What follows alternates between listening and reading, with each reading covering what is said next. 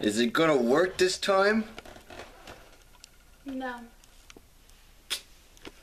The other camera doesn't work.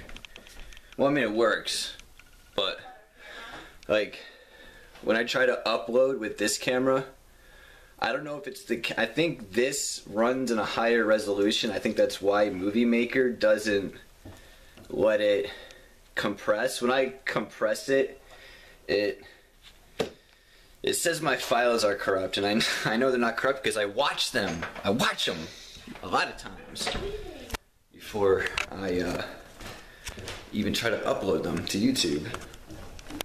So, if this actually works, then you'll have to just deal with a slightly lower resolution with the camera. It's really not that bad. The only difference I think between now and is is that it's a little bit wider lens. So, uh, I don't know. Let's try this, I guess.